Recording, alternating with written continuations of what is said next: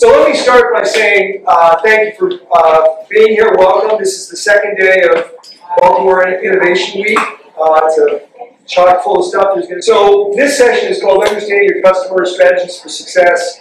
And uh, Bob and my collaborator here, uh, I'm, I'm Brendan McAdams. My collaborator Bob and I are going to spend the next few minutes kind of talking about sales and uh, and then and then kind of more generally communication skills from the perspective, primarily from uh, the founder, entrepreneur, startup perspective. And so just a little background on, on me. I, I've, uh, uh, I've been in sales, in enterprise sales, and in telecom and financial services, and ultimately healthcare for the last several decades, longer than some of you have been alive. And, uh, and uh, in enterprise sales um, for startup companies, technology companies, companies have gone IPO, and I've been consulting with tech companies, and now I'm the founder of, co-founder of a, technology company that uh, called Expertscape that identifies and objectively ranks medical expertise by a very specific topic. And so I kind of lived a lot of this stuff. So what I thought I'd do is spend a few minutes kind of talking about, about sales from the standpoint of a founder or an entrepreneur or someone that's got a, bootstrapping company. And in a lot of cases, um, if you're a founder, you're focused on product development and product design and all the kind of fun stuff that goes with uh, with being a, an entrepreneur. But at some point, you really need to focus on sales. And I would argue that you probably should, you know, ideally you're doing it already. Uh, and uh, but if you don't, it's because in a lot of cases people would rather do something other than sales. Sales is a bit of a dirty word for some, and uh, at, at or it's uh, at best, you know, it's, it's uh, inevitable, you have to do it, or it's tolerable at best. Uh, but I'm going to argue that um, the really good founders, uh, the really good entrepreneurs are going to find a place in their repertoire to be at least adequately good at sales. And and there are a lot of reasons for that, especially for, uh, for a, a, young company just starting out. I mean, not only is it revenue, it's also um, it's important from the standpoint of being able to uh, uh, confirm your product, uh, confirm your assumptions, and or disprove some of your assumptions in terms of the product. It's it's motivational and aspirational for to make sales, to be involved in sales. Nothing motivates uh, an, an, entrepreneurial venture more than landing a deal, especially landing a big, important deal. Nothing will drive the company forward quite like that. Uh, it's, uh, it's important from the standpoint of investors. Uh, investors are going to want revenue. They're going to want customers. Nothing will impress uh, people when you go for funding. You know, ultimately, for a lot of you, you want to get funding. Nothing is nothing is as compelling as having customers around. And finally, uh, at some level, it's it's just satisfying to be able to sell uh, because it confirms uh, that you're solving a problem. Hopefully, it's an important problem, and and ideally, and and and on top of that, you're getting paid to do it. And those are kind of important drivers and things worth focusing on. So, as a founder, as an entrepreneur, somebody inside your company is going to have to know how to be successful in sales, and chances are it's you. And if it isn't you, even if it isn't you, you're going to want to uh, you're going to want to understand sales well enough not to screw up deals that do come. So at some level, you're going to want to know what takes place in order to make a sale happen, and um, uh, you know, and, and, how how to help advance that along. And there, so I've spent a lot of time, uh, as I said in kind of the preamble here, uh, in terms of being in sales, and, and and and I've spent a lot of time thinking about sales process, refining my sales process collecting things, and as I mentioned, I wrote a book about it. And so, the next kind of few minutes, what I'd like to do is just spend, at the start of this, spend a few minutes kind of talking about three things that I, if you distill anything away from what I have in the, in the book, that I think are critically important for a founder, an entrepreneur, anyone that's trying to get a new idea, buy-in for an idea, uh, it's going to be three basic fundamental ideas. One is talk less listen more. Number two is do what you say you're going to do.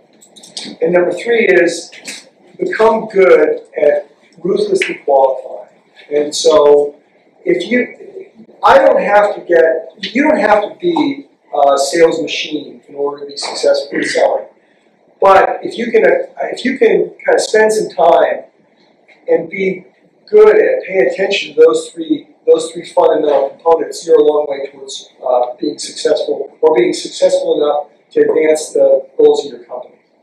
So, what do I mean by uh, uh, talk less and listen more?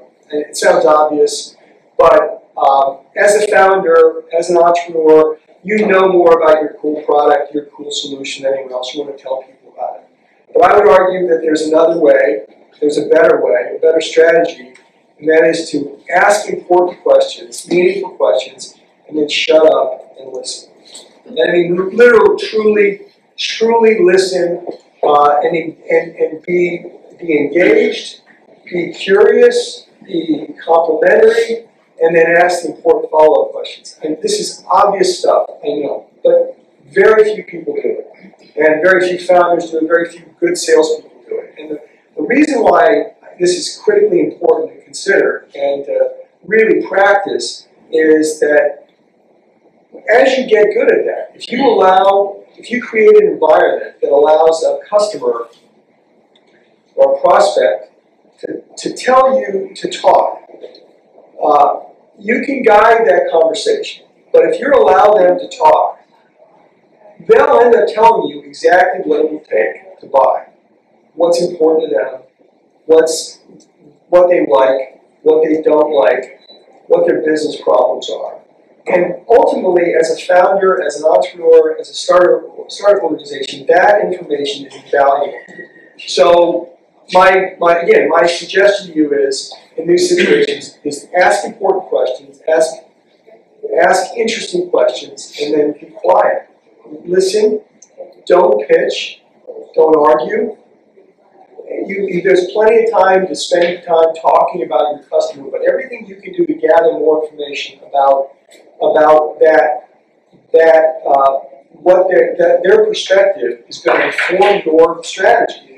It's going to make your product better. It's going to make your solution better. It's going to allow you to anticipate the next sales call. All these things are critically important. So, can you give an example of an important question to ask? You've said that twice, and I'm not sure I know exactly what you mean. Well, it's it's uh, at, a, at a very important, at a very basic level. You want to understand what is the what is the problem that they're dealing with. It's not how your your product works. It's what what's on their mind, what is what matters to them, and and and then figure out if you've got a fit. And and that's part of this. We'll go back into this in the third, which is around qualifying and the importance of qualifying. But yeah, it's it's being able to understand from the customer's perspective because frankly, they don't care about you. They care about themselves. They care about getting their problem solved. And if you can help them get there, they're willing. They're probably willing to listen.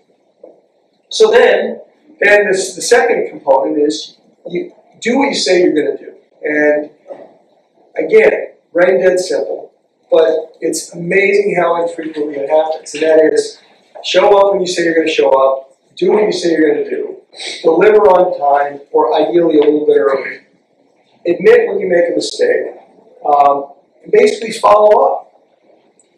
But it also means, in addition to that, not doing stuff that you shouldn't be doing. You know, don't don't do stupid stuff. Don't commit to things that you shouldn't commit to. Don't agree with a customer just because you think you have to agree with a customer. If it doesn't fall in line with your vision for the company, and if what they're saying doesn't make any sense, you should you shouldn't be agreeing. You should move on. You should, you know, so so you don't want to you don't want to commit to building some one-off product enhancement that's not going to that's not consistent with whatever your vision for the company is, because because that's going to lend you towards shitty deals, and you do not want to get shitty deals. Time is of the essence, especially for fragile young companies that, that are early in their development stage. So it's critically important for you not to waste time on stuff. And shitty deals are the easiest way to kill a good company.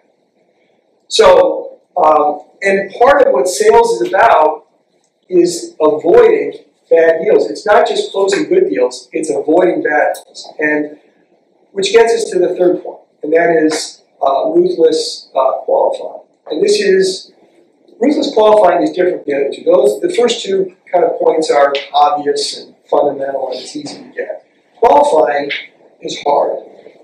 It's hard because it relies heavily on um, it relies heavily on experience. In a lot of cases, you don't have that experience. You don't have that direct sales experience. You don't know.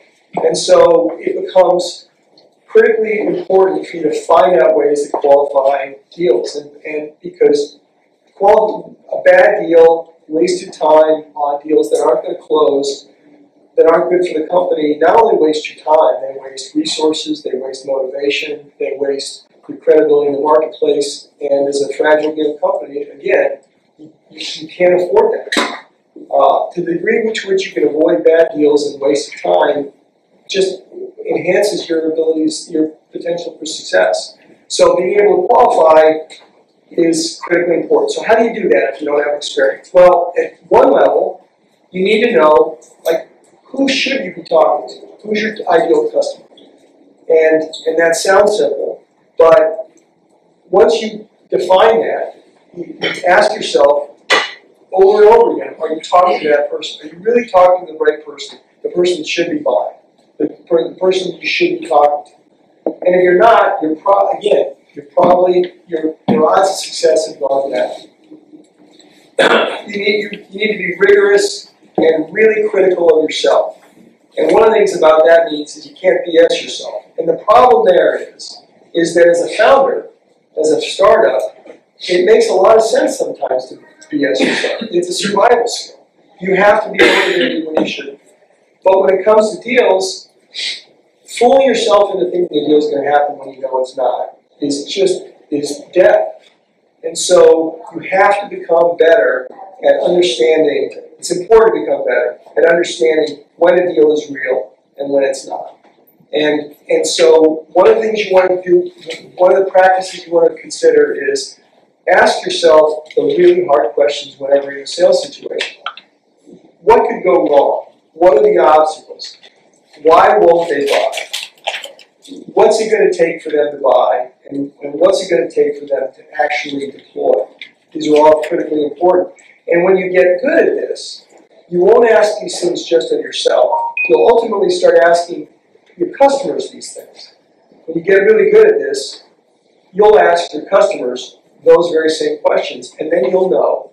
Then you'll be able to qualify, and then you'll know. You'll be able to go back to the first the first point, which is you'll you'll, under, you'll, you'll, you'll be listening for the, these right clues, and ultimately you'll be able to, to to know whether or not to follow through on this deal or that deal or next deal. If you if you can focus on those three key components, just talking less, talking less, listening more, do what you say you're going to do, and learn how to qualify. Really be ruthless in terms of qualifying. Your, your chance to success, your ability to, to succeed as an entrepreneur, as a startup, as a bootstrapper, go way up. So that's kind of my, if you know, I spent almost 206 pages writing a book. In a, in, in a nutshell, those are the things that, if I had three things to tell you to take away, those would be the takeaways. Now, with that, we'll step back a little bit and we'll, we'll talk less about sales and more about uh, something more universal communications. And Bob, I'll let Bob kind of take over. Bob's written a book as well, uh, 55 soft skills for. It's got employee and organizational success benefit. Yep, it's all it's based on research that he did with his co-author. And, uh, and as I mentioned, uh, helped me with uh, getting my book off the ground. So with that, I'll let you uh, spend a few minutes, and then and after that, we'll kind of open it up and Yeah. people can chat. So, so Brendan, I think there's a synergy between what you were talking about and what I talked about.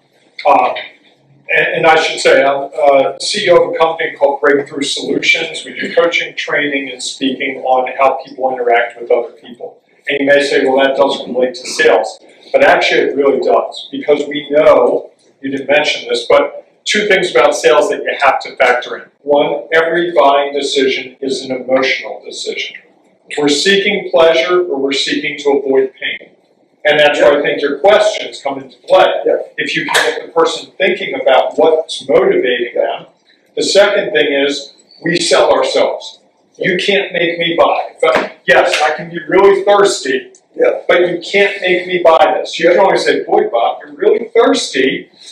This is so cool and refreshing. But at the final decision, it's mine, not his. And I think that's one of the things I've learned in my journey as a salesperson in my career is that I can't make you buy. So if I come in and say, Brendan, I do this, this, this, you need this, you need this, you need this, Yeah. your response is, dude, step back. Yeah. And I think that's a really important starting point that sort of takes us from what you're talking about to what I talk about. So what I talk about is how people engage with other people. And uh, the book about the 55 soft skills, happy to talk about a little bit. We did some research and found that there are actually 55 skills that we use in the workplace to engage with other people. Everything from empathy, how you empathize, to delegating tasks, time management, patience, resilience, sharing a vision. If you're at that high level in an organization, how do you share a vision for what you want to do? And there are a whole bunch of others. Um, I'm not going to spend a lot of time on that because I've evolved from that. That was about two years ago. And now I'm putting together a book that talks about three breakthrough communication skills. And these three skills, and I'm going to walk through each of them, relate to the whole sales process. In fact, it's a great example, and I love when I get done going through them Yeah. to get your feedback. In fact, so the first one is attunement. If you're going to have any kind of successful communication, whether it's sales, whether it's a how uh, going to investors, whatever it would be in, in your organization, you've got to be attuned with that other person. Attunement is how you and that person stay in tune. Attunement comes from the word tune, of course, and think of a guitar. If you have six strings, if one's out of tune, it sounds really lousy. If it's in tune, it performs really well. It sounds really good. Although I play a little guitar and it doesn't always sound good, but it should. But we want to be in tune with that other person. So being in tune is, first of all, being respectful of their situation. You know, if you were saying earlier, this is a great week for you because you don't have a lot of deadlines. So you're here. That's a great insight. I'm going to guess if I called you, Ted, next week and said, hey, Ted, let's get together for coffee, you're like, dude, can't do it. Recognizing the ebb and flow of people's life can be helpful. Understanding when they're available, when they're not. Understanding what's going on in their head. What some of their concerns would be. Brendan set this up really good at the beginning, talking about where all you are in your journey. His comments mirror what you're looking for. There's a synergy there. There's an attunement. If he came in here and talked about, you know, when you're running a corporation with 6,000 employees, like, dude, why are you here? That's not going to fit. So being attuned is the first thing. The second thing is experience management. And this is something that I find more and more is overlooked in the business climate. How do we manage our own experiences and those experiences of other people around us to make better decisions about how we should act with our business? So, I don't know if you've ever had this experience. I've had this experience a number of times where we make a decision in an organization, we do it, and then after it fails, and eventually something will fail, someone goes, I could have told you this was going to fail. Well, why didn't you? You didn't ask. Well, we- we're not managing the experience. The other thing is, we don't manage our own internal experiences. We have a gut. We all have a gut. And as I get older, I realize more and more I have to trust my gut. My gut is that thing that says, hey, you've been in this place. You felt this feeling before somewhere else. You need to pay attention to it. And so often, I don't know if it happens for you, but for me, I don't pay attention to that because the data that I'm looking at at that moment or what people are telling me says do A, but my gut's saying do B. And more and more, when I follow B because my gut says do it, even though the data doesn't always support it, I find I get better outcomes. And when we're working with a team, whether it's in an incubator like this or anywhere else, getting other people's opinions, but not just going, oh, tell me what you think, and then dismissing it, but taking it and really considering it and asking the right questions. That's where your idea of questioning for that experience can be really valuable. What experiences can you draw on? Is there a parallel company out there that's done what you've done? Maybe it's in a completely different sector, but what's their trajectory? And can you follow that? Can you learn from their great steps and their missteps? So that's the second one, experience management. And the third one is storytelling. How do you communicate information? And this is both internal and external. What do you tell yourself when you get up in the morning? Seriously. I got, I got up this morning and said, I had this great opportunity to share a stage with Brendan, which is like, I, I told my wife this morning, he's like one of my favorite people in the world. And that I get to share with him and, and be on par with him is just awesome. And I'm so excited to be here for that reason only. But also, this is an opportunity to share what I'm passionate about with people who clearly are interested. You couldn't have all been here for the bagels. So there's got to be something and there's an opportunity to give back. But I could have gone a different route. It's Tuesday morning, I've got a busy week, I've got to dress up, I've got to shave this morning, I'm going to have to sit in front of people, my throat's sore, I've got allergies. And we do that sometimes, right? We tell ourselves an internally a wrong story. And when people buy, they buy our passion. I'm convinced that when people buy what Bob offers, it has more to do with who I am than what I know. I don't know if you experience that with me, but but I think there's a there, there's a way that we show up to our ideal clients or customers that makes them go, I am better with this guy in my corner or this woman in my corner than being on my own. And so it's how we tell that story and, and we communicate that. The language we use to describe what we're building is critical.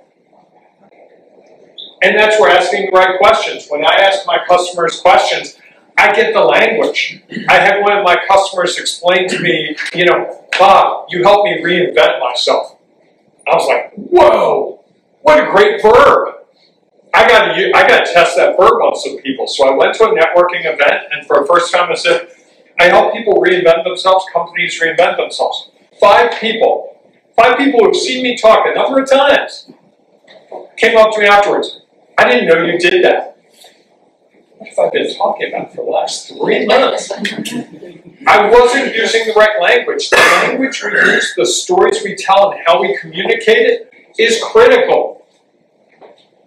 And it's not just the words. It's the way we dress. Brendan and I had a discussion yesterday about how to dress for this audience. I'm not wearing a three-piece suit. He's not wearing a three-piece suit. There's no tie. I almost went with the hoodie and jeans, but I don't own a gray hoodie or black hoodie. Do I. And there you go. But how do you tell that story in a way that people people respond to it? They feel comfortable with it. They feel it's inviting. And that changes from situation to situation. And unfortunately, all the all three things I described, the attunement, the experience management, the storytelling, the only way to develop those skills is to go through it and practice it and be ruthless with yourself about what worked and what didn't work. Even better to have a mentor.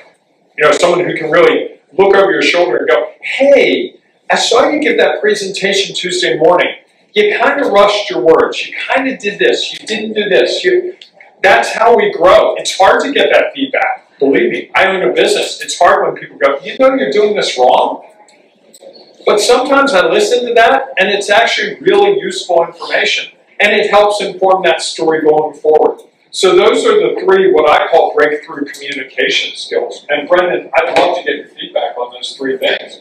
Well, the, the yeah, the attunement one right out of the gate uh, is is important because the, the, point I made earlier is people don't care about they don't care about you or your product. They care about how your product helps them. And and so whenever you're, you know, in any sales situation, you really need to be able to put yourself in the customer's shoes in, in a very in a very real sense, like what are they going through? And you can't, in, in most cases, you can't know that if you're not having a conversation with them and listening to what they're saying. And uh, you know, if you're selling a product into a certain industry and you don't really understand that industry very well because it's a yours is a generic kind of a platform tool, you're, you're going to have a tough time being able to articulate what the value is until you understand what they're up against. And some of that is is understanding the, the, the gyrations in their industry or legislation, or it could be any number of things. And your customers will tell you that. That's the, that's part of that attunement to your point. Yeah. The, the other thing I think attunement really does is it helps get past the price game.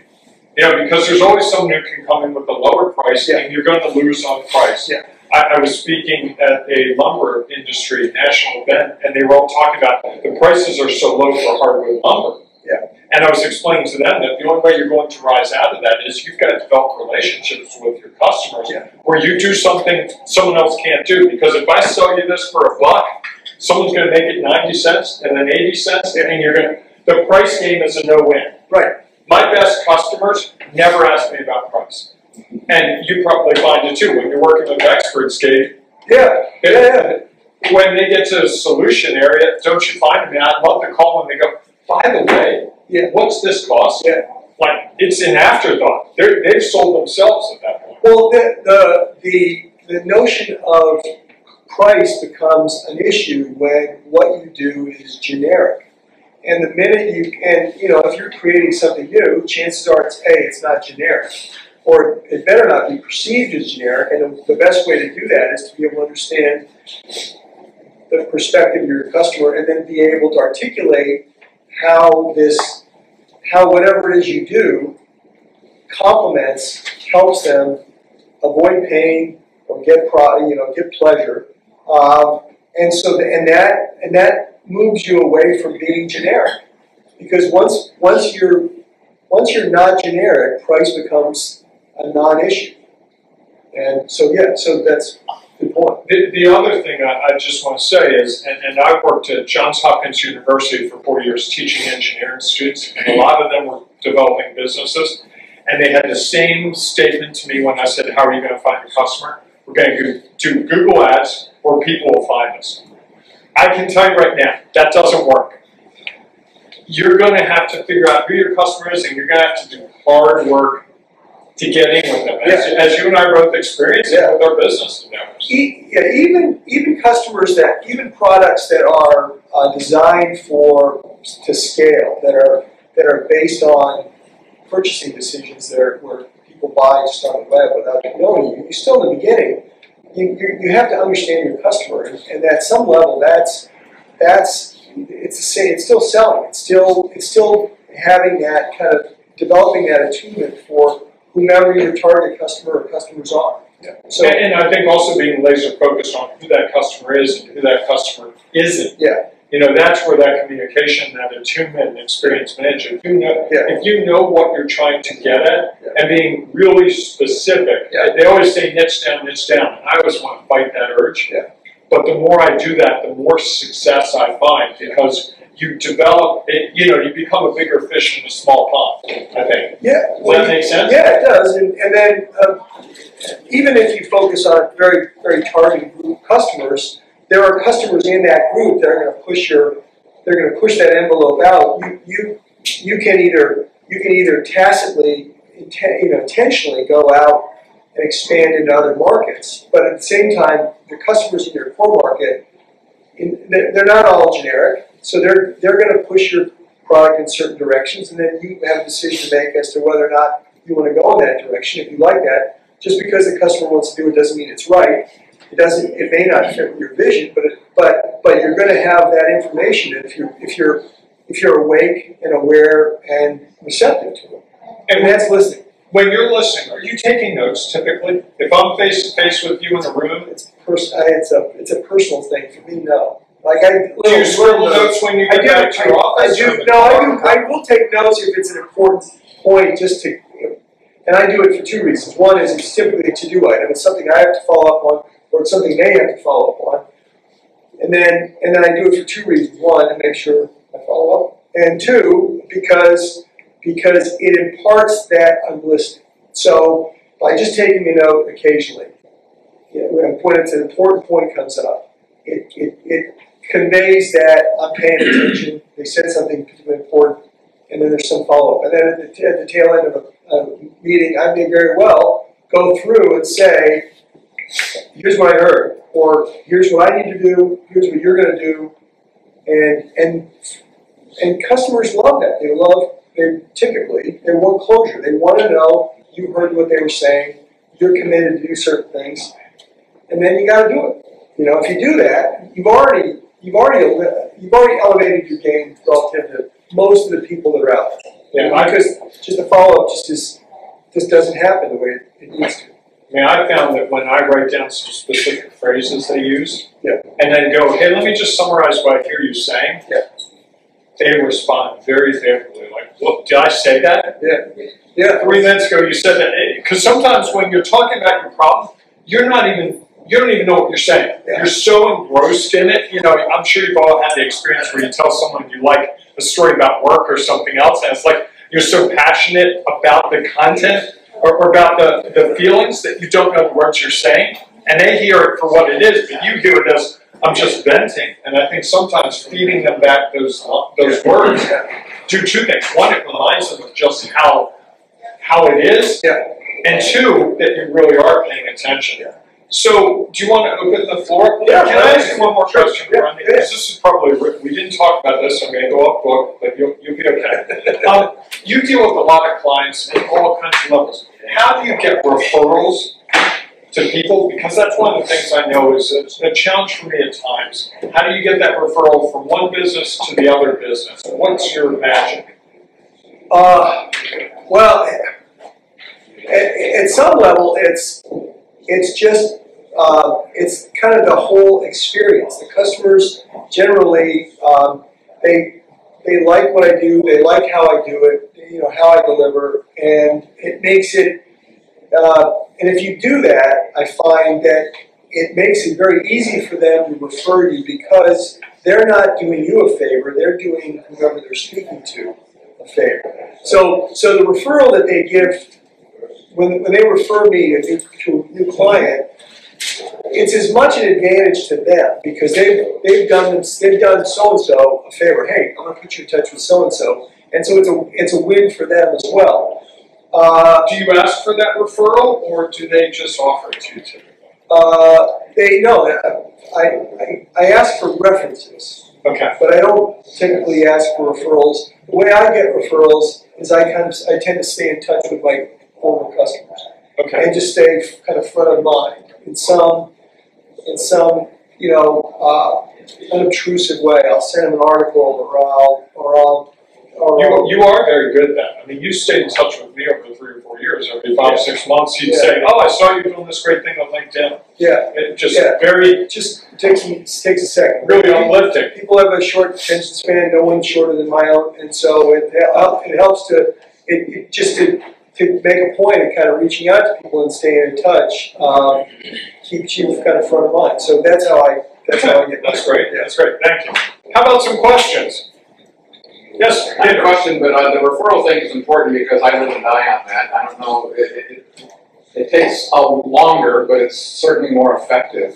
And I'm learned to build LinkedIn testimonials, references, and letters of introduction into a proposal. Yeah. Here's your budget, here's the timeline, here's how the billing works, Yeah. and if you're delighted. Yeah. You're gonna give me a, a LinkedIn testimonial and two letters of introduction over the next six months. Don't be in a hurry, think about it, Yeah, make sure it's a good fit, yeah, but introduce me to a few people. that's a good uh, idea. And it works. Yeah, for you it works, yeah, yeah. And, and, yeah, people, people are quite happy to provide references and referrals. What I do is, when I do a proposal, when I do a sort of, a, I usually put some, some kind of reference in at the front end. People do not want to believe the salesperson. If, if they can believe somebody else, you know, tangential to the salesperson. So if I can, if I can, Or the owner of a company. Yeah, That's another thing they don't like to believe. Right, right. And so what happened, yeah. So so what I find is I have a particular style, you know, and and it makes it very easy for my customers to introduce me to others and then proceed to denigrate me in a great ways. and for whatever reason, that is totally disarming, and it works. It works very well. So my my customers will introduce me to people, and in some usually some humorous, kind of funny, you know, very condescending way, and for whatever reason, it makes that it makes the relationship I have with, with my prospective customer that much. It starts off on a on a on a on the easier footing. So for me, that's been been effective. I've gotten really good at asking the questions, and I see a, someone they're working with and they're having success, hey, who do you know that could benefit from this as Yeah. much as you have? And asking it that way, and really putting them on the spot to think about it, because they're not gonna know off the top of their head. And having that discussion, you know, what, what was it that you really liked about what we've been working on? Well, this, this, this, okay, who do you think that would benefit? Yeah. When I'm, when I'm doing my speaking, often the organizer of an event will know someone Yeah. because we're all buddies, and it's like, oh, wow, you should talk to this person. You'd be great for their event. And it's a little more difficult in some sectors because you know you don't you don't want to give away your competitor. You don't want, but I, I find that hey, who among your friends? Yeah. Or and then to say hey, I- I'll buy lunch for everyone. Yeah. If you can get us all in the room together, that'd be great. And then just introduction, no sales pitch, just hey, I'm Bob. Nice to meet you. John says you guys are friends. Then John does the work. Yeah. I mean, I just sit there. It- it- I, I, that's that's the best shut up location. You know, let them tell you how great you are, even if they get it wrong, Yeah, because they will. They'll use their words, but you can always go back and fill it in later. So I think that's one thing. Does that help? a little bit? Yes. Great. Other questions? Yes, sir.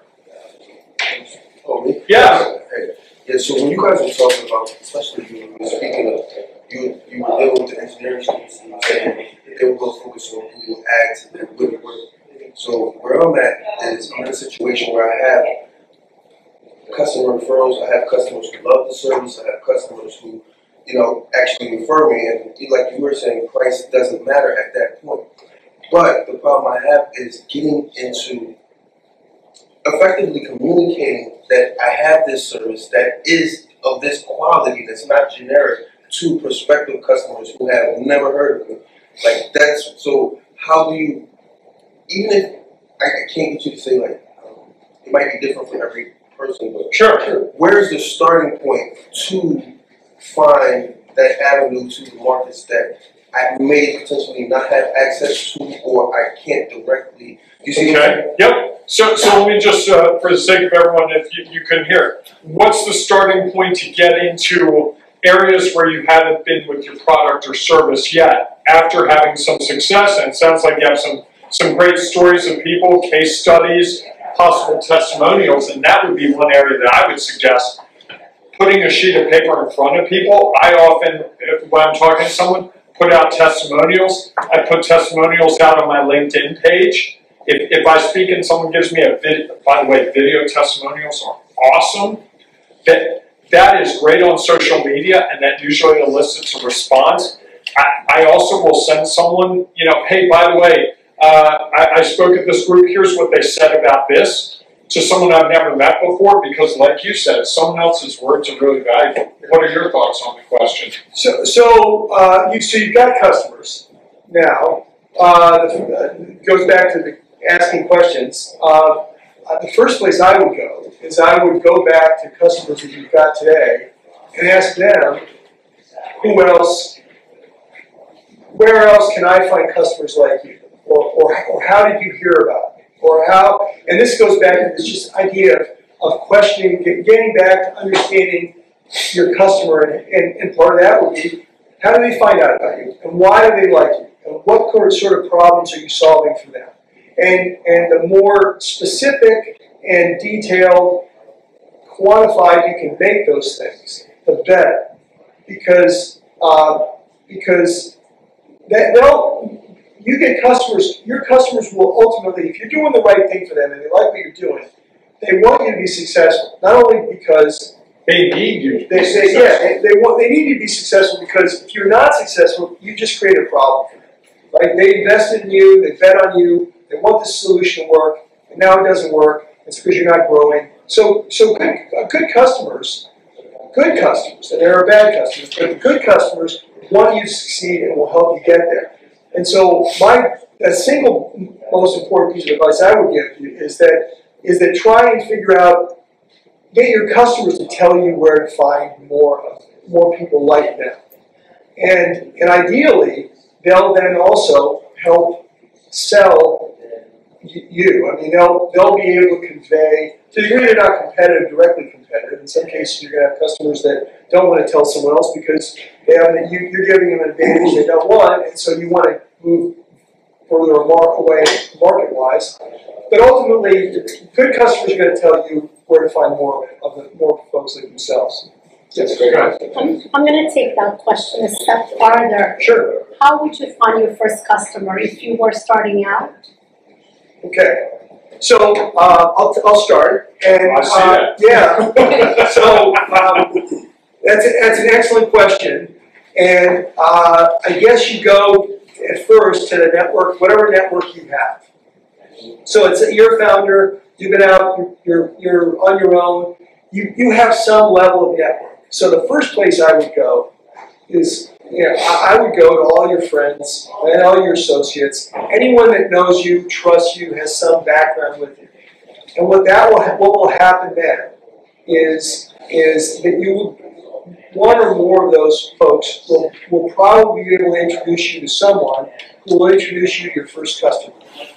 Because in the beginning, you don't have anything except your credibility and your, whatever you've created so far. You don't have, a you don't have another customer to, to point to. So, so it's really people that, that bet on you based on you or some relationship you have with somebody else. In my own example, uh, with this, this, uh, startup we've got, Experts. Experts, we, we've, uh, we've started, and all our customers, all of our academic medical center customers in the beginning have been, have been physicians that, that know us, use the product, which is free, you can use it on the web. Uh, it's, it's basically a medical search engine. And they've been the ones that have advocated for us inside of the market, because in the beginning, as you know, you're, you're dealing with fear. Your first customers, it's all about fear.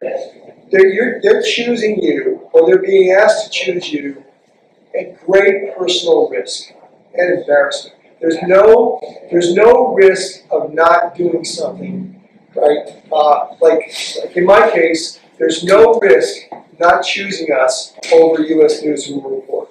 It's just so safe. Uh, this and, and going with Expertscape is a huge risk, and nobody does it. And you got to overcome that. And so that's the battle that you're going to face is is that the pioneer, you know, pioneers get arrows in their back, right? And so you have to figure out ways to to assuage them and understand that this isn't this isn't fear. You're bold. You're you've got vision. You're an innovator, and those sorts of things are going to kind of come into the conversation. And if you can have that conversation with the customer, and they and they can convince you that they're bold, they're an innovator, they're risk averse, or they're not risk averse, they're they're they they try new stuff, then you've got something. And if you ask them those questions and you and they don't, you got to walk away and find someone who is. Can I add that? Look, Yeah. A couple of thoughts I had. Um, when I've started businesses, I've deeply discounted my products and services to get people to test them. Um, I, I, did a uh, session for a nonprofit on something new I was doing a couple months ago because I met the person and it was a great opportunity to do it. And the testimonial from him would be gold to me. So I've been strategic about discounting services when there's an opportunity.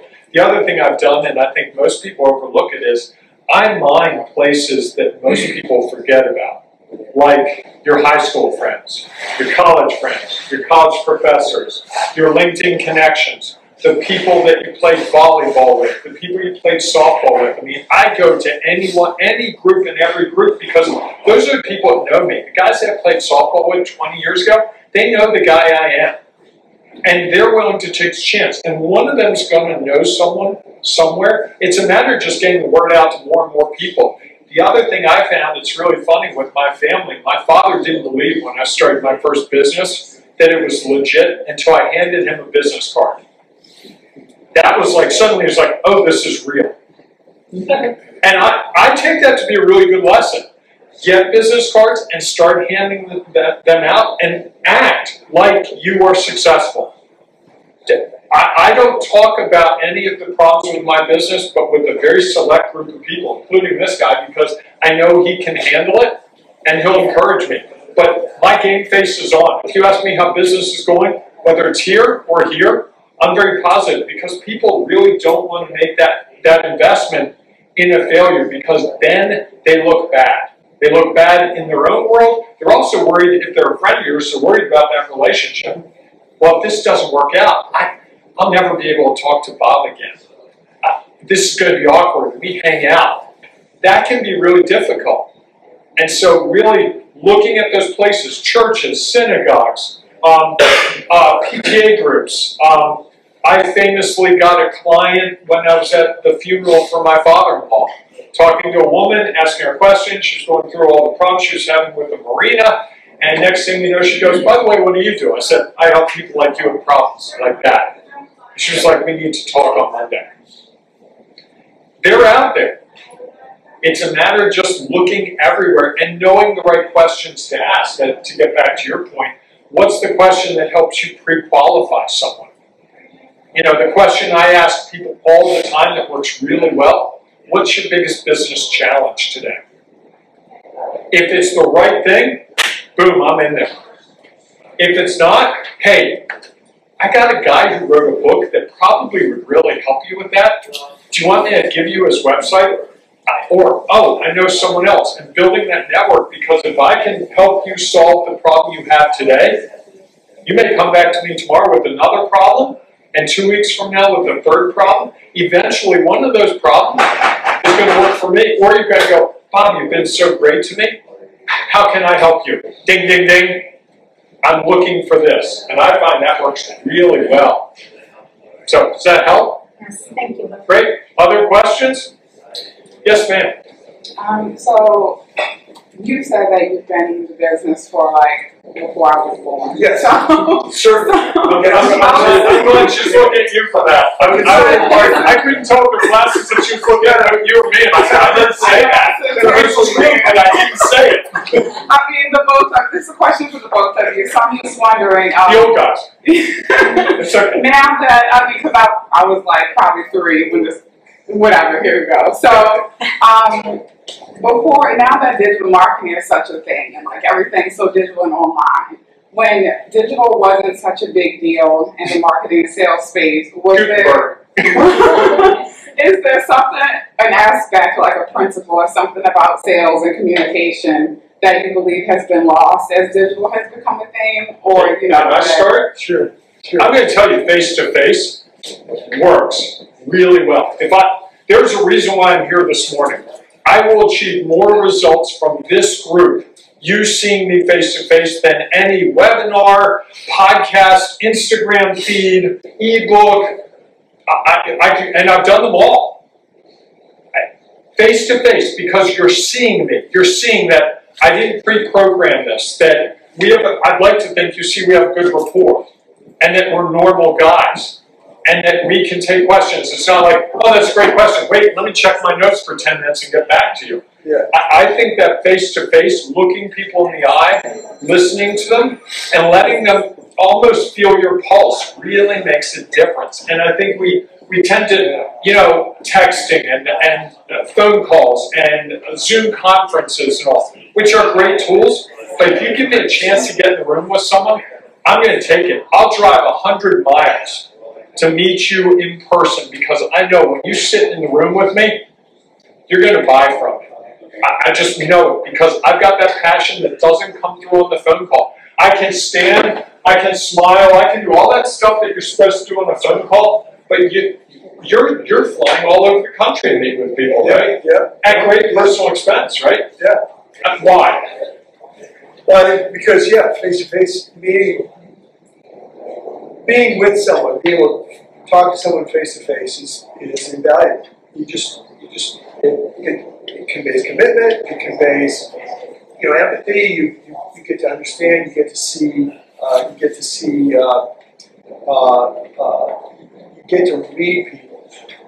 So I have a kind of a hierarchy of uh, of, of communication. So you know, text is at the bottom, and then it's email, and then it's a phone call, and then it's video calls, and then it's in person. So, so So I've only made it to the texting level. So oh. this is good to know where I rank. So, Yeah, I don't mean to interrupt, but I want to thank you both very, very much. This is great. I'm running out to get a beer. all right, all right, Friday night, so, yeah. Can we, can we keep going for a little while? or- You're here all day. if you. Okay. Oh, as long as you're getting the questions. And and then please stay and finish off the big. Okay, Okay? thank you so Thanks, much. Jen. I hope everybody enjoyed.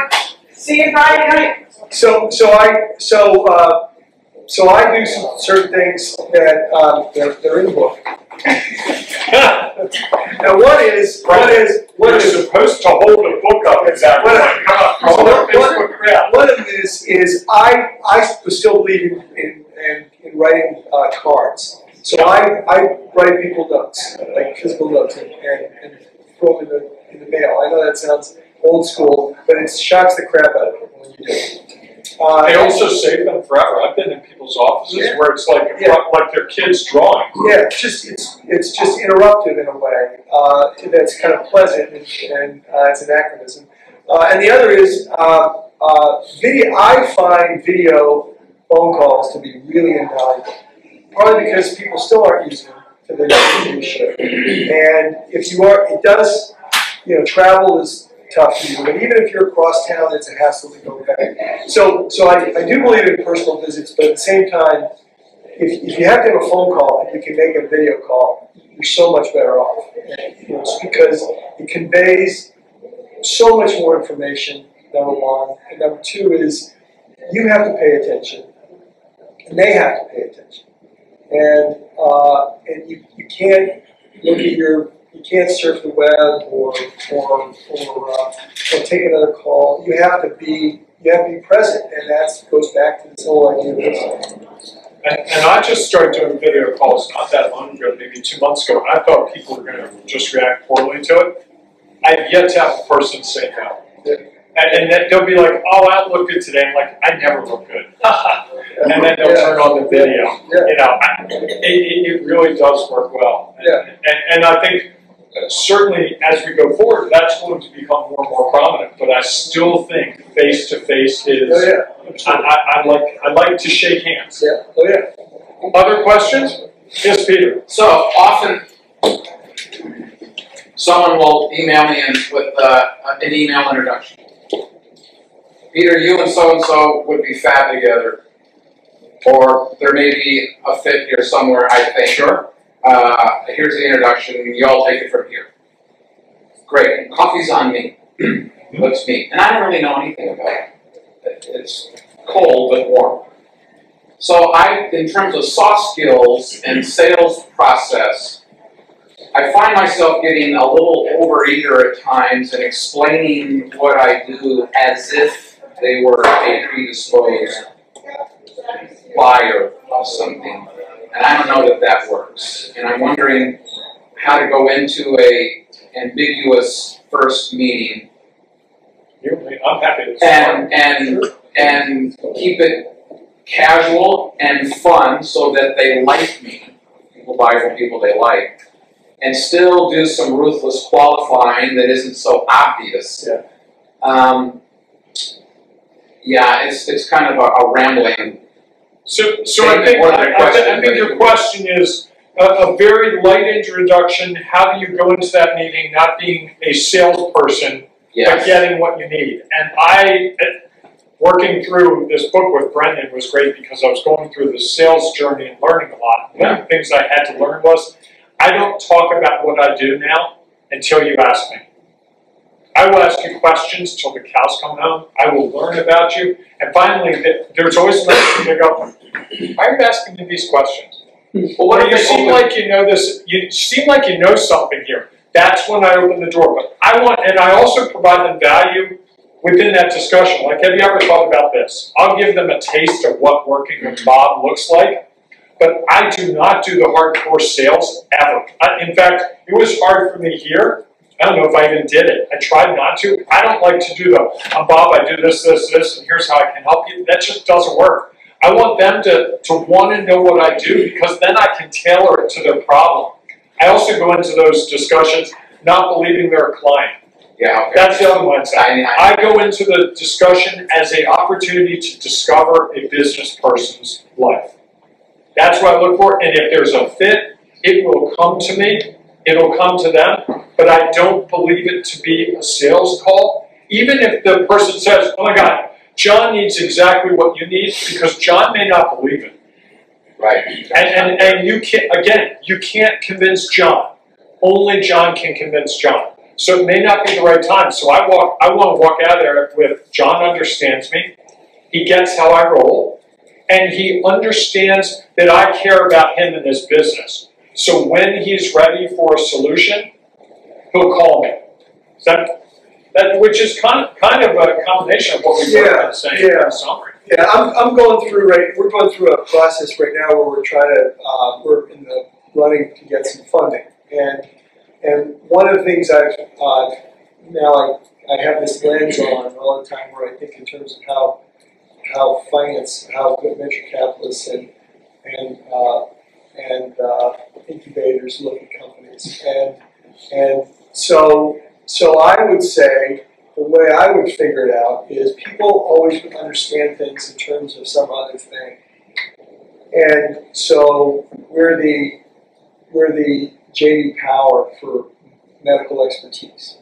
And to some level, if you have to convey what it is you do, I find that it's really helpful to be able to, to explain it in terms that are like something else. I, you know, I'm the Steven Spielberg for the small entrepreneur. Uh, you know, I'm the, or I'm the, the Steal that. That was gold. you know, so something like, you know, so people, like I am surely this way, I think in terms of something in relationship to something else. I, Sounds So- like storytelling. yes, I mean, so because for me, like for most, for most people, it's just easier to absorb something if it's delivered in a way that's digestible. And for me, I, I can pick up something if it's a story or if it's visual, much more so than if someone just tells me a fact or I see data. It also stays longer. Yeah, so so to me, my my piece of advice there would be if you can find some way to to distill what it is you do in some way that's uh, referenceable to already referenceable to them, then they understand it. Number one, and number two is it probably is a prompt for a conversation. Oh, it, it, it's an invitation to explore that more. I like your answer better than mine. I would jump in. They were both good. Other questions? Yes, ma'am.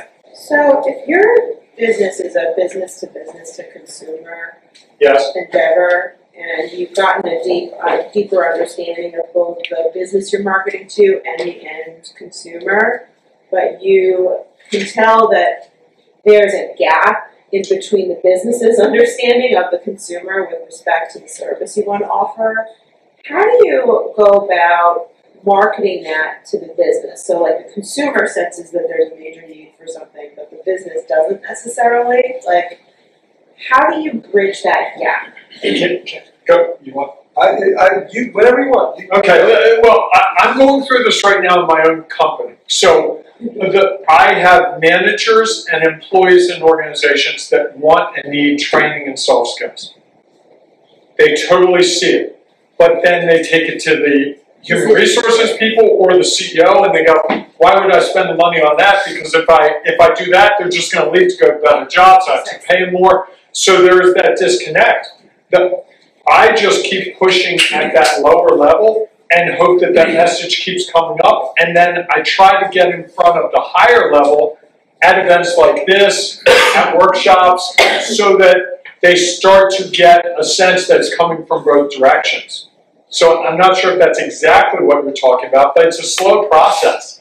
I, I wish I could just get a manager to sign, you know, cut a twenty thousand dollar check. Problem is, it's got to go up the food chain, and the training budgets spread different ways, and it doesn't always work that way.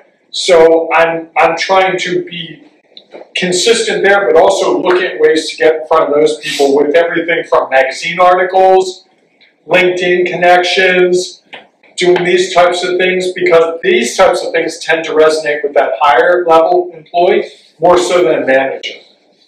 Does that Yeah. give, give you one Yeah, perspective? uh, yeah, that's, I smile because that's a, that's a real hard problem.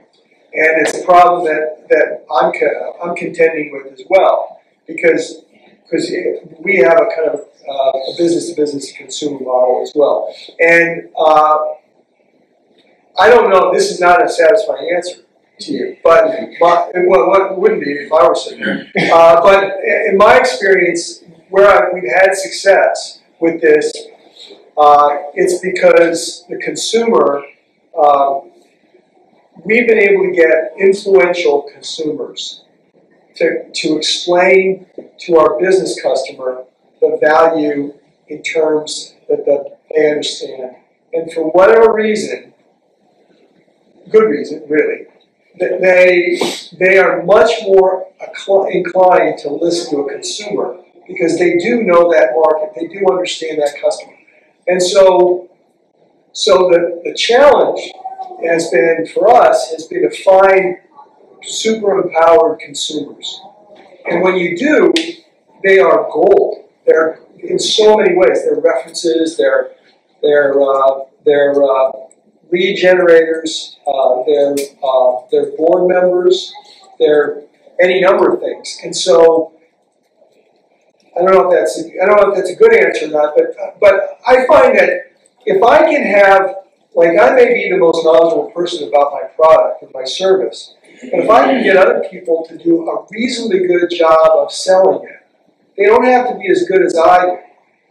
If I can get references or others to, to sell or to or to emphasize certain things on my behalf, uh, and that's uh, that is a uh, an underused that, that is an invaluable resource. That would be the way I kind of look at that. Right? Uh, yes, sir? Um, so uh, a lot of what you guys have talked about, uh, you know, the, the big fish in little pond mentality of um, finding that uh, niche market that you focus on. Um, and a lot of what you're talking about is very product based. Um, I am a sort of business to business service provider. Essentially, um, uh, real estate developers and architects come to me to develop, like I said, pretty pictures for architects. Yeah. Um, most, or if not all, of my sales come from um, re- personal references. True. Um, how do I? I guess I'm having trouble with expanding on those reference um, to other, you know, other potential clients. I'm having trouble expanding on that. So I can only go so far with those references. Um, how can I leverage those references, I guess, into um, something a little bit more marketable? I, I'm not really sure where, I know my client, I'm not really sure how to find more of them uh, at this point, and I'm looking to grow those that client base. I'm not really sure how because all of my business is so dis decentralized, Yeah. uh, if you will, and my biggest competitors are like China and India undercutting me on price constantly. So my, my sale is myself Right. most of the time. Um, so I'm just trying to see what the scalability of that is and how to um, start selling that more effectively. I, I'm kind of, I'm kind of rambling. No, no, I get it. I, There's a lot that you guys said I mean, that I uh, uh, well. Can, Yeah. can you clarify the question just for Yeah, sorry. yeah. So, so you you you've got customers. Yeah, They're happy. Yeah. And and you've and, and you're geographically dispersed, so you don't have the you don't have the benefit of a concentrated group of customers. And so so how do you how do you grow that? Um, uh, well, the, the I guess I guess the way I would start I would start by saying, congratulations, you got good customers and they're happy with you. That's half the battle. So you and now um, I'm, I'm not going to go into how much you can scale or not, but you know because that that can, that dictates some of what you might how you might approach it. But if you've got customers that are willing to talk about you and that are willing to go on record, and then I, I would I go back to the point of what specifically is it that gives what is the advantage that you derive that they derive from you? Like what specifically? Does it help them reduce cost? Does it help them? Uh, uh, does it do they, does it improve their win rate? And by how much? Can you quantify those sorts of things? Does it does it uh, does it is it a happier customer experience for their customer?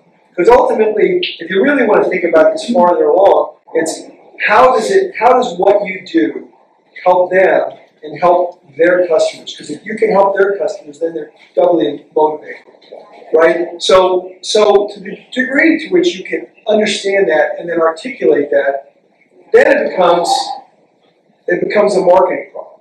It becomes how do you communicate that, you know, to others and and and you know, so even at a sales level, when you talk to someone in a new market, it's hey, this is this is what I've, I've done for XYZ Corporation. You know, this is how much I, this is what they were able to do. You know, they decrease staff or increase profits or increase number of customers or increase customer satisfaction, what have you. And, you know, and then, the, and then the next question is, does any of that interest you?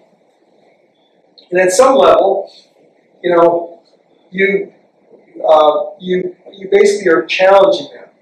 Are you interested in these sorts of things? And if you're not, then you've qualified and you move on. But that, that would, those would be some of the things I would kind of, I would kind of focus on. If I can just add, you, you said we both sell products. I sell services. I, I sell coaching and training, so there's nothing really on paper that, that, that Yeah. someone gets. Yes, I sell books, but that's a small part of my business. So I'm I'm in the world you're in. And one of the things I would say is it's a matter of how big the funnel is. That's what I've realized because you've got to get enough people coming into a sales funnel that you can find the people that you can actually serve. And there's some ways to do that with LinkedIn Sales Navigator, with some other techniques. You could, and, we, and I, I have some ideas for you if you want to talk about that. But there are ways to do that. But the big thing is you know that everyone you talk to isn't going to be the ideal client. So you've got to bring enough people in that the shakeout Yeah, get you those two or three new ones each month, and that's what I've been going through with my business, and there are some ways to do that. Okay? Other questions? Yes, Peter. So I'm trying to sell to, let's say, professional services. They have differentiation issues and I can help them with that. Mhm. So I'm looking at a website for lawyers, accountants, whatever it may be. There's ten partners. I know this all too well, Peter. And then Keep they have staff. Yeah. And I'm not sure what my first move is. Do I, do I pick a partner based on their looks on the about section? You know, and, and, and, you know, whoever's got an email that I can do something with, or do I go to a staff person? So I'm asking about what is my strat, entry strategy to find the, per, the, the, the, the influencer Yeah. in a blind situation? Is it staff person who, you know, it could be, is what I do, who, who should I talk to? Right. I would start with LinkedIn connections, and I would build my LinkedIn network and pray that I know someone connected to someone on LinkedIn who's connected to that firm.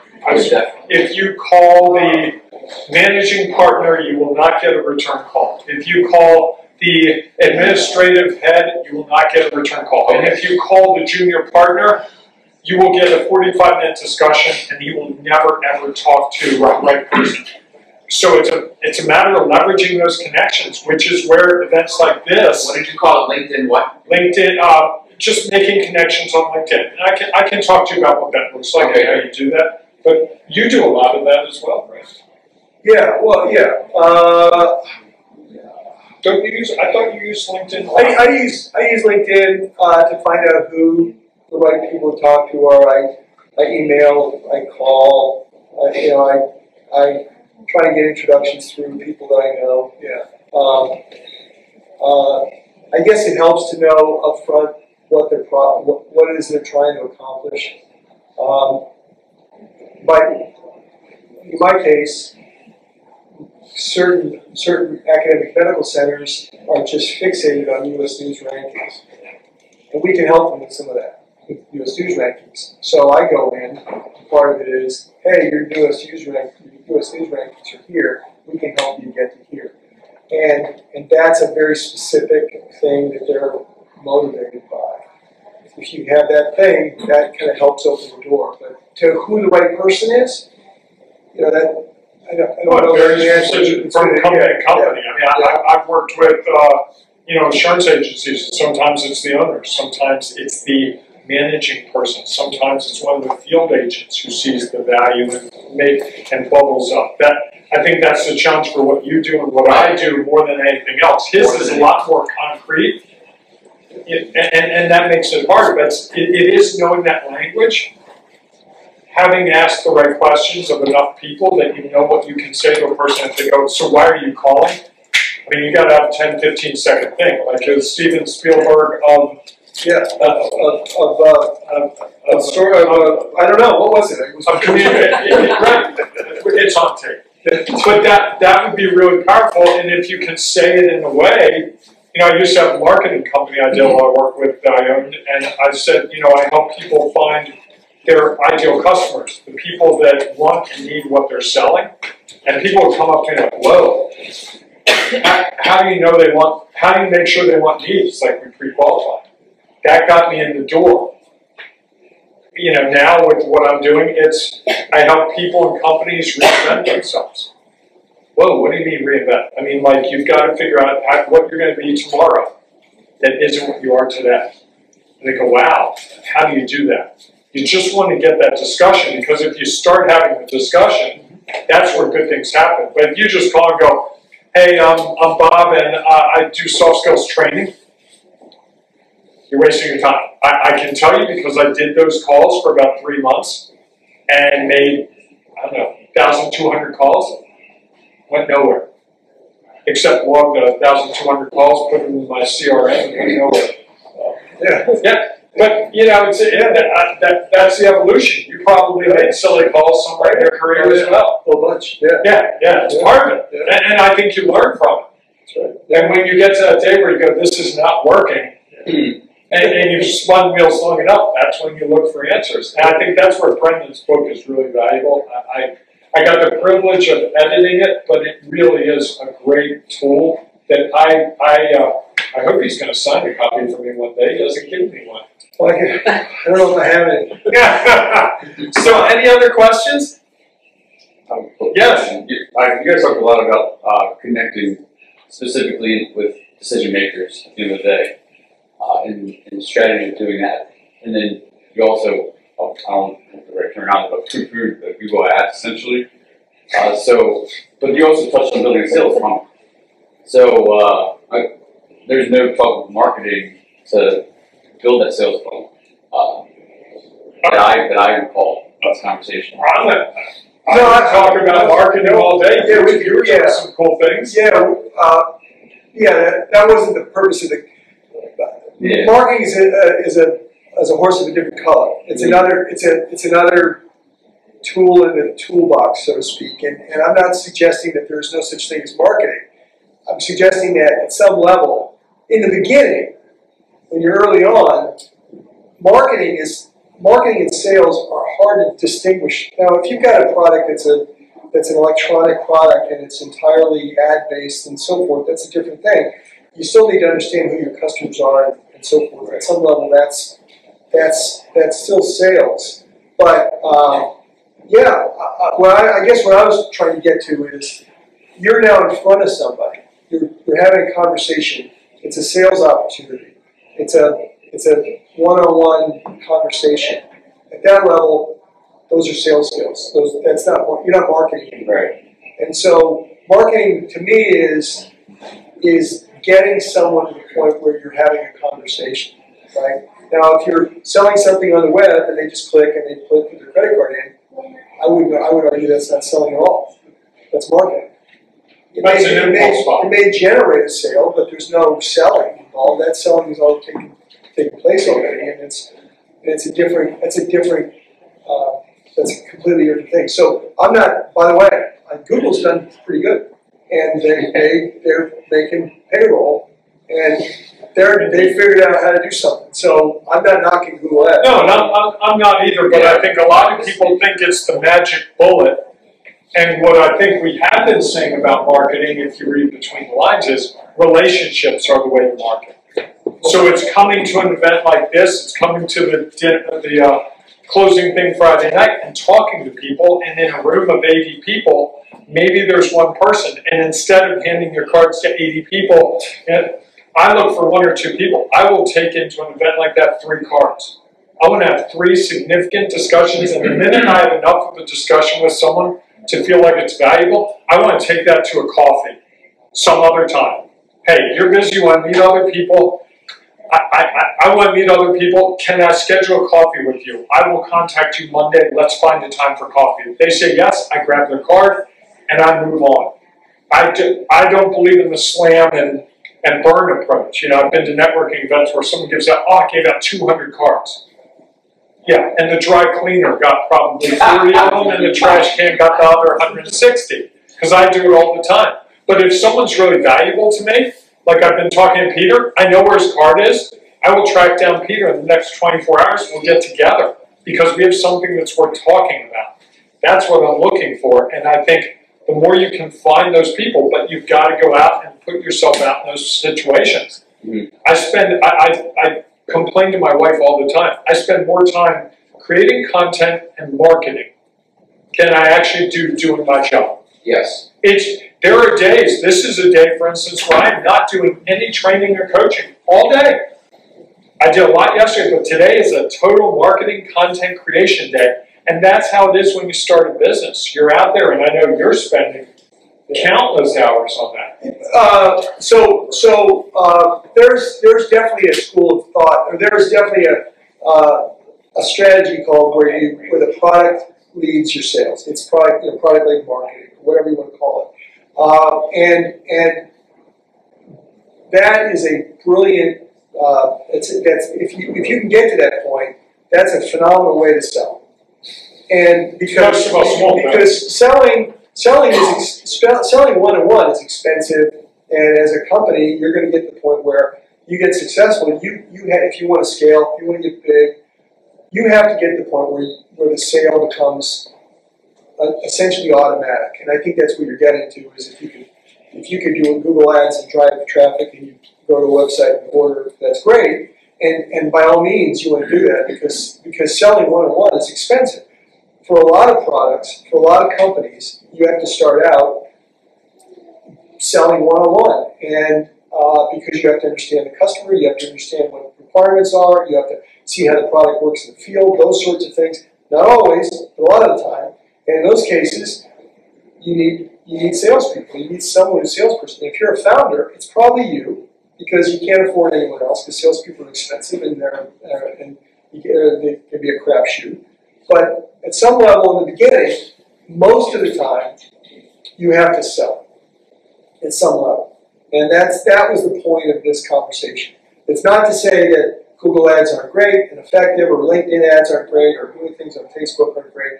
Those are all those are all tools in your toolkit. But but this conversation is really about when you get in front of a customer, what does that mean? And those tool, you know, LinkedIn or Facebook or Instagram or whatever those ads look like, they do work, but you've got to know what your message is. Yeah. Which gets back to the idea you got to know your customer. Yeah. So many people go out and buy Google Ads saying what they want to say, and they get no results, and they spend hundreds, thousands of dollars and go nowhere. When you can really crystallize that message and know that's a message where when you say it in a room, people go, whoa, I want to know more. Now you have something that you can take to those services. But I did it. I put out some really bad ads, spent a hundred dollars over a weekend, spent two hundred bucks over a weekend, and got nothing. And then I blame it on Google Ads or LinkedIn Ads. It's not them. It's me not having the right language. So don't put the cart before the horse. Get that language, which is what we've really been trying to get at. And thinking that most of the businesses that we would be talking to here are in those early stages. Certainly in the early stages, messaging is critical, right? So, but it's always nice to have people, like, if it's a decision maker, CFO, CEO, hard to get their time. Especially if they're not gonna buy from you, they're not interested, but you still wanna get feedback. How do you do that? How do you continuously uh, improve messaging, but do it in a way that, um, is, doesn't piss people off, right? So every customer you talk to, you get feedback. Right. And messaging can change very quickly. Um, I, so I guess like, it's easy to say that like, you know, improve your messaging, but how do you do that? everyone has to eat. Yeah, there's a great, April Dunford wrote a really good book on this, on Yeah. product messaging. Yes. And, and I would, I would recommend, it's, it's April Dunford.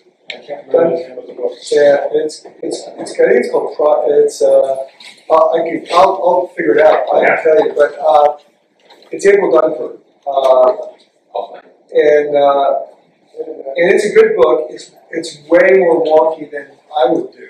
I mean, it's way more detailed, but it does a really good job of explaining product messaging and how to go about it. And, and, and she, uh, she did a couple interviews, podcasts that you could probably find, and they're probably just as good as listening to, to watching reading the book. Um, she's uh, about how to understand product messaging, and, and and and her book is really a discipline on how to, the steps to go through to to kind of to kind of get to that key point. Why it resonated for me is it's got a lot of examples, and the examples have to be in industries where I was where I was actually in the same competitive companies with her, so I kind of it really made sense. So, but it's a good it's a good book. It's worth it's worth reading. A couple of places I've found to find potential clients to talk to is um, nonprofit organizations. Get on the board and volunteer. Yeah, because you're around the room with people and before and after, and they have an annual event. You get you do that. Golf tournaments. I have a, I have a friend who volunteers at golf tournaments for charities and works the registration desk. Meets all kinds of people, and then you know if you're giving back in that way, people want to talk to you. Oh, hey, John, I've been trying to get in touch with you. Yeah. That, So that kind of outside sales, I'm very comfortable with, and I'm a big in in-person meetings, handwritten notes, calls, but I think the lines of inside sales, trying to get that messaging out. Yeah. something scalable. Yeah, it, it, it is the name of the game. I, I think there are a million great products and services that failed. Not because it was a bad product or service, Right. but because the messaging didn't resonate with the potential audience. I, I, I've seen it. Yeah. I've worked with companies where I, I helped them with their messaging, and as soon as we got that messaging clear, their sales started to go up because people could figure out what the problem was. And I mm-hmm. think that's what really at its core, what we've talked about for the last you know 75 minutes is how do you work on getting that messaging? How do you how do you do do those discussions so that when you're in the room with someone, they go, I get it, right? And, that, and he's a master at it. And, and his book, I keep saying this book's great, it really is. It's a great tool for, for really answering some of these questions. And he's got some great tips on little things that you go, oh, it's not, oh, wow, that's really a good idea. And, every time I would start playing with part of it, there'd be something like, oh, I've forgotten to do that. Oh, I should do that. Like he's got a great anecdote in there about how he got a pass eh, within a company so he looked like an employee. So he could be in the, he didn't have to look like an outsider, and that gave him access to people and information in a way that he couldn't get by being the guy at the front desk who had to be let in. And I think those are the kinds of things that your book really gets at. Thank you very much for your Yeah, thank you attention so and much. politeness, all your great questions. And uh, And we do have books if you'd like to buy one. Thank you.